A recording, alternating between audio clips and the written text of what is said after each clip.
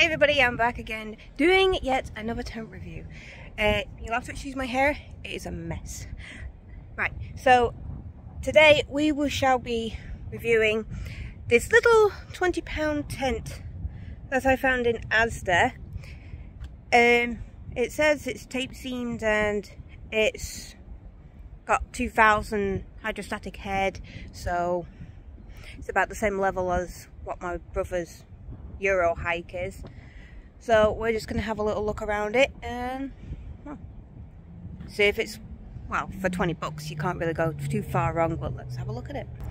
So here it is, I've already erected it. Now, this was £20 at Asda uh, in the summer sale. Um, the ties, you have to tie on yourself, not too big a deal. I'm not going to lie, the fiberglass poles are pretty flimsy. Uh, I wouldn't recommend trying to bend them. Um, it does have the tie there in the middle, which is good. So I think that's something my brother's Eurohike could do with. It has ventilation here. I Don't know if you can see that. I think that might be a bit big. I think if it was like that, it would be okay. So I think that's a bit too big, but could only guess if it rains. so let's see if I can zoom out a bit. There we go. Oops, excuse my phone. So it's a, quite a dinky little tent. Now it does say two man, so unless you're two very thin people, I'd say it'd be okay. Condensation might be a bit of an issue though. Um, but if you're a solo camper, I'd say this would be great for a weekend trip. And, oof, God, my legs. That is who it's by. I'm not even going to attempt to pronounce it. So you've got two little windows here. And you've got a tie, which is nice. So if you want to open it, you know, you don't have to keep messing around. Um, have a look inside. Now,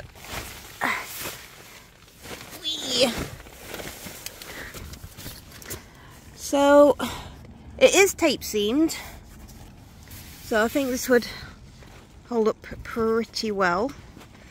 Um, one thing I'm not over keen on, I mean obviously I pitched this in like five ten minutes so you can see just how thin them poles are. Very uh, unsturdy, I'd say. I'd say once all assembled, it's quite good, but trying to build this in any form of wind is an absolute flipping nightmare. Uh, it kept blowing everywhere. Um, one thing I think it could have done with is like another tie or something to attach that up because in my Coleman it has one so it attaches like that so it keeps that up. Now one feature this tent has that my Coleman doesn't is here it has a zip. So if it's a hot day you can have it flat out. I suppose it would make it easier getting in and out of and then when you've got a bit of rain going on then you can you know hook it back up.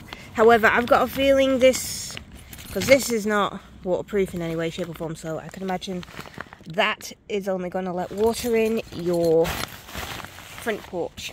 So you'd have to have this right over it to uh, make sure the water doesn't get in.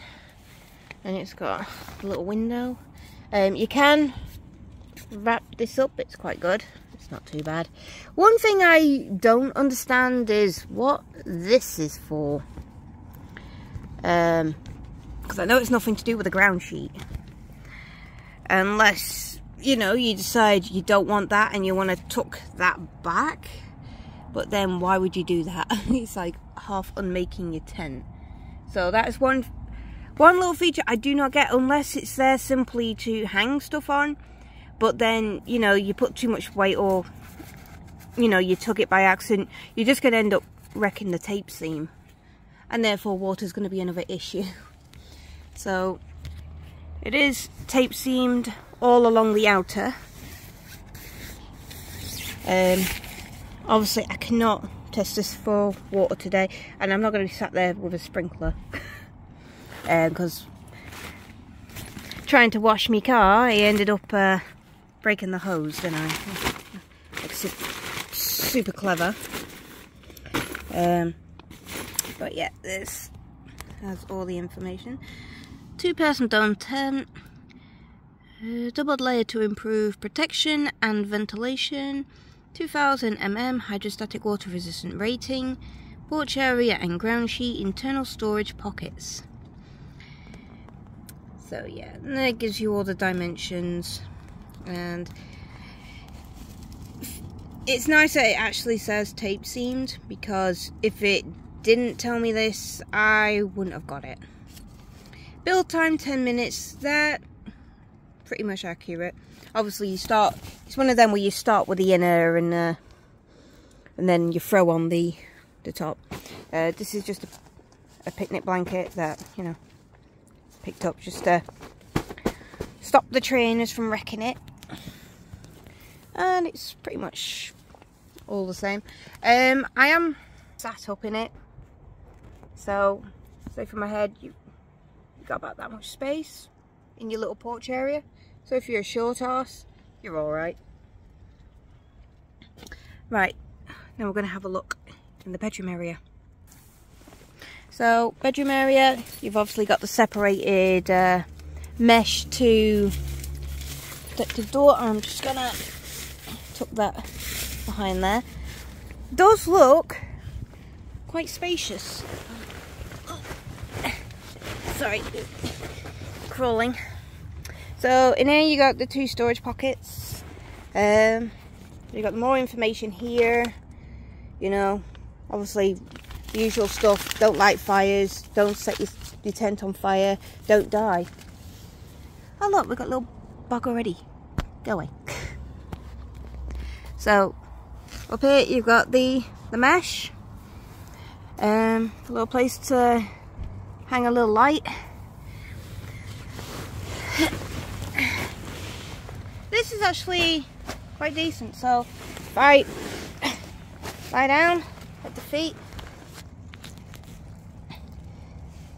it's actually uh, it's a good amount of space. But I'd still say one person. I mean, if I I mean, I'm a little on the chubby side, so I'd probably say, yes, you could possibly fit two in here, but comfortably and with like backpacks and shoes and stuff, probably not. So, yeah. So along here, this isn't tape seamed at all, but I'm guessing they're relying completely and totally on the inner. So, let that focus. So, yeah. It's not tape seam there at all. Um, material wise, the inside, yeah, I, I, believe it's polyester. It feels quite nice. Um, we'll definitely keep the, the water off, yeah. Um, I mean, whether that would stop the water coming in, I don't know. The only other thing I have a qualm about, I don't know if you can see it. Oh, a bit too close. There we go. Is the summit hook only attaches to one of the poles. Um, so not both of them. So for me, that would be a little bit, mm, a bit less sturdier than it could have been. But I suppose it could be worse. But yeah, far as space-wise, it's not too not too bad for a two-man. I mean, I've been in smaller two-mans than this for sure. Obviously, it has the uh, the Velcro to attach the inner to the poles. But I think a really good gust of wind or a really, really windy day, I think it would really test this tent quite well. So, I mean, it says it's waterproof, but I don't know. I mean, this feels okay. It just, I'm not gonna lie, just you could sort of feel a bit cheap. I'm not gonna, but not to the point where it won't work. So, so if I had to go off what I would say on my tent rating, I'd probably give this a 6 out of 10 just because of like how flimsy the poles feel. I mean, I know it's like 20 pounds in British pounds, so I, I don't know how much that would be. Probably about $30 in the US. But, you know, that takes barely any force whatsoever. I could do that with one finger.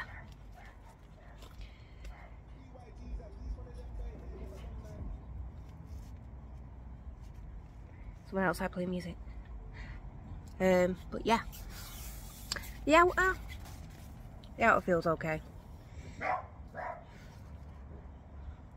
Excuse the dogs. Um, yeah, 8 out of 10. Not 8 out of 10. I can't remember what I said now. 6 out of 10. I'll probably kick myself for that later on when I'm when I'm doing the editing. Um, but yeah, like I said, points is I'd prefer something to hold that up without having to damage the outer. So maybe if you had some tent glue, but then you know you'd have to yank it off. So unless you got maybe like a little button and tent glued each to it. I don't know, it might work. I suppose. Um, obviously knocking points for the flimsy ass poles.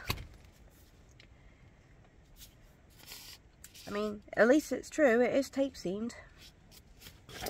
Uh, size, I think, is is mainly where it's sort of really good because it, you know, I can sit, I can sit up in here. In here is not much really more space in there. But if you're like a one-person camping and you, you know, you want somewhere to put your your socks and shoes, uh, you've always got this area. But I'd definitely make sure your outer is well over your porch area because it might have that, but it just flops straight over. And for some reason, I can never seem to put up a tent and it look just as good as when it's in the picture. so, and here we got adjustable air vents. That much is true, but I still think they're a bit big. Includes a power socket cable. Oh yeah, I forgot to mention that. And fiberglass poles. Flimsy fiberglass poles. So here it is. So you've got the teeniest, tiniest little hole right there. So, again, how are you supposed to get a plug through that? Okay, that that's quite humorous. If the slit was bigger, you could get a plug or something. That's just ridiculous. You can't get a plug through that. Especially not a British one. Never mind that one, like it is on the picture. You most likely only be able to get a wire through that. Oh, so it's sorted. You cut off your plug, you can use it. Which kind of defeats the object, so... I don't know about you, but that's kind of pointless. I mean, if you're going to add a feature like that, at least make it so you can fit the damn plug through it. 20 quid. But yeah, that is a 20 pound tent. Now, I don't have high expectations for this because the good old term of put your money where your mouth is, I think I, you know, relates to tents quite heavily. You know, at the end of the day, oh, you can get a good, decent tent, you know, for a bargain. This one you know, if if it was like a little weekend trip and it was going to be good weather throughout, I'd say, you know, this would be fine. Good for a light shower, but horrific winds, probably not. For example, it's like I would have had another tie there. And the other side as well, just to make it a little bit more wind supported. Because really you've only got it sort of front and back.